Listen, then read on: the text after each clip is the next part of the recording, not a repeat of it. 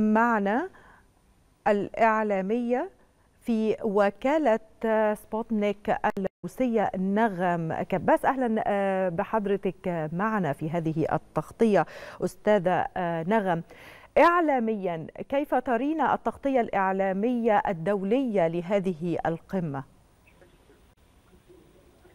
أهلا بك وبجميع المشاهدين والمتابعين. يعني الحقيقة هنا في قمة بريكس في كازان وفي إكسبو. إكسبو هو مقر انعقاد هذه القمة.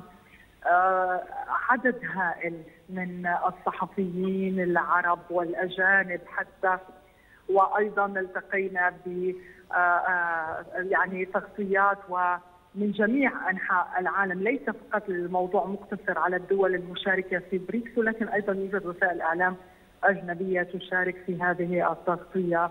هذا إن دل على شيء يدل على أهمية بريكس ومجموعة بريكس يعني يزداد الاهتمام بها من الناحية الإعلامية ومن ناحية أيضا انضمام الدول. طبعا الرئيس المصري عبد الفتاح السيسي منذ قليل ألقى كلمة خلال هذا الاجتماع كان هنا الصحفيون ينقلون هذه الكلمة من جميع وسائل الإعلام وليس فقط من وسائل الإعلام المصرية. يعني ما في القاعه في هذه القاعة التي أتواجد بها عدد كبير من الإعلاميين المصريين الذين جاءوا إلى هنا لتغطية هذا الحدث. ولكن أيضا يوجد إعلام أجنبي وإعلام روسي طبعا مهتم جدا بهذه القمة وب الوفد المصري بشكل خاص يعني والرئيس بوتين كما تعلمين وشاهدتم التقى بالرئيس السيسي بحفاوة مميزة ومتميزة وهذا يدل على العلاقات المتميزة. وابدى الرئيس بوتين رغبة بتطوير العلاقات تحديدا مع مصر وبشكل استثنائي بسبب يعني العلاقات التاريخية التي تربط بين البلدين إضافة إلى الموارد. الكثيرة والمشتركة بين البلدين والمصالح المشتركة كما تعلمين. نعم. سيدة نغم يعني ما العناوين اللافتة التي تناولتها وسائل الإعلام المختلفة؟ ودعينا نتحدث مثلا عن وسائل الإعلام الروسية حتى يعني هذه اللحظات والتي ربما عناوين جاءت على لسان القادة المشاركين في هذا التجمع. نعم يعني بالفعل بيسكوف ديمتري بيسكوف المتحدث باسم الكريملين وأيضا ممثل الرئيس الروسي أوشاكوف كلاهما ركزا على موضوع التعددية في هذه المجموعة تعددية الأقطاب التبادل المشترك للمصالح الاتفاق على خطوط عريضة بمجال التعاملات البنكية والمعاملات المالية وبالعملات الوطنية إطلاق منصة التوقيع على اتفاقيه شاملة لدراسة إطلاق عملة موحدة للبريكس إضافة إلى القضايا السياسية. يعني المجموعة لم تحصر نفسها ضمن إطار الاقتصاد فقط لا ابدا. الرئيس الروسي فلاديمير بوتين يعني أكد بأن المجموعة مهتمة أيضا بالقضايا السياسية خاصة التي تجري على الساحة العربية وتعلمين ما تمر به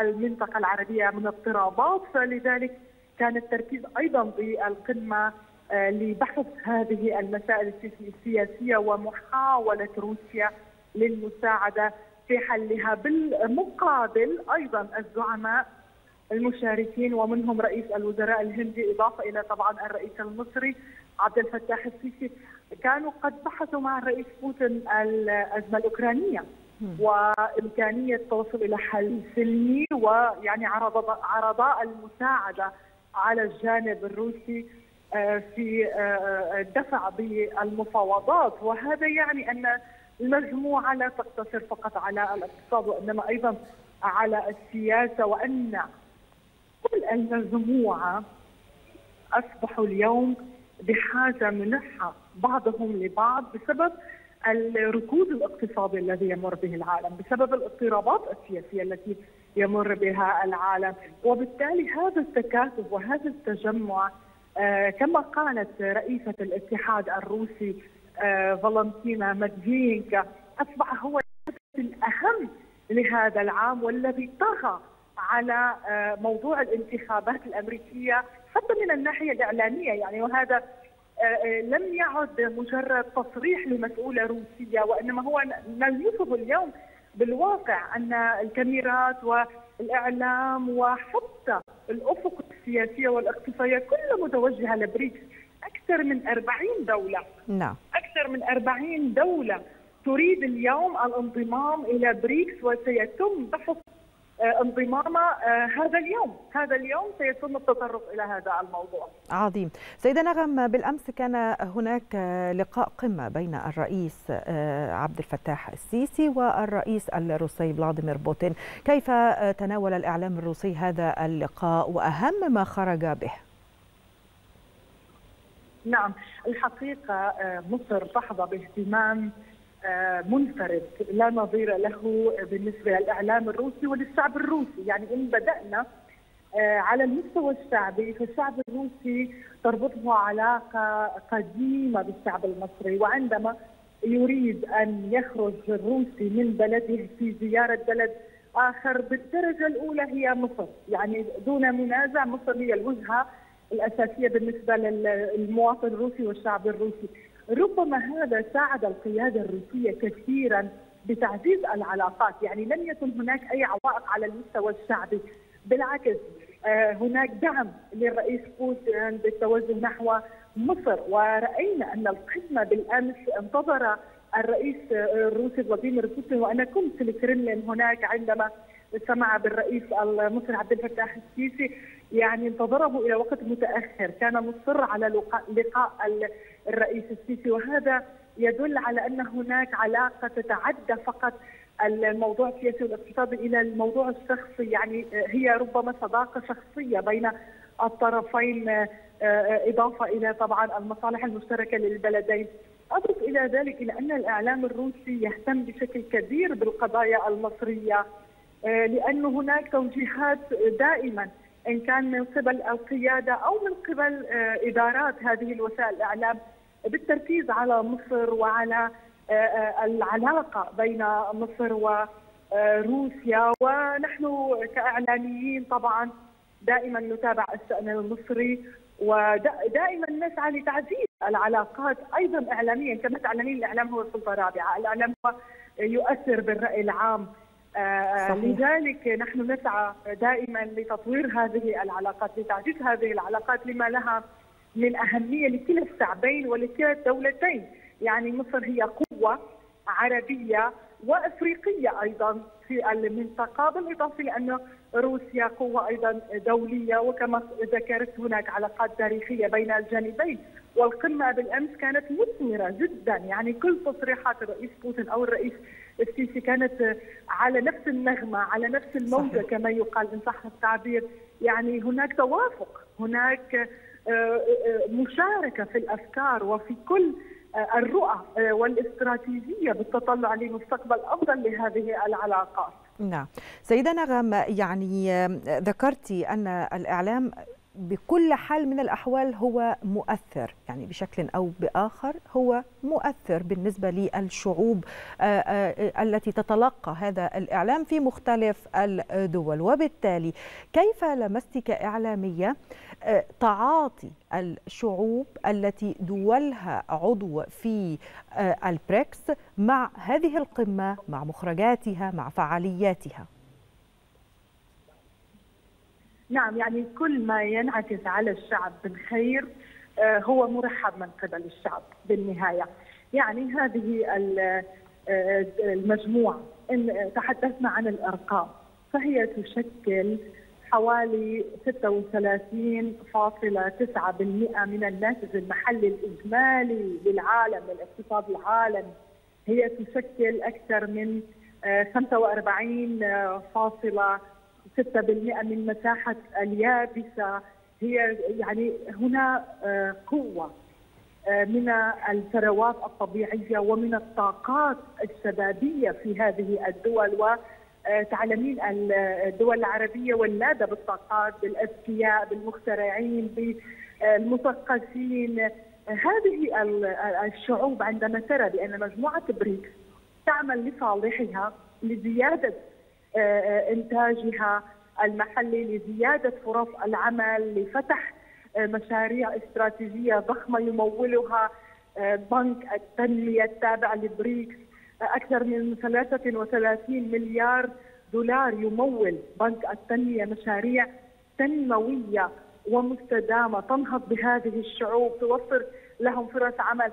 وبالطبع بهذه الحالة الشعب ماذا يريد إلى أن إلا أن يعيش بكرامة باستقرار وأن يكون يعني لديه مستوى معيشي مرضٍ. يعني أكثر من ذلك ربما الشعوب لا تريد ابدا. لذلك هناك تطلع بأن شعوب بريكس بشكل عام والتي هي تشكل كما ذكرت مساحة كبيرة وطاقات شبابية هائلة.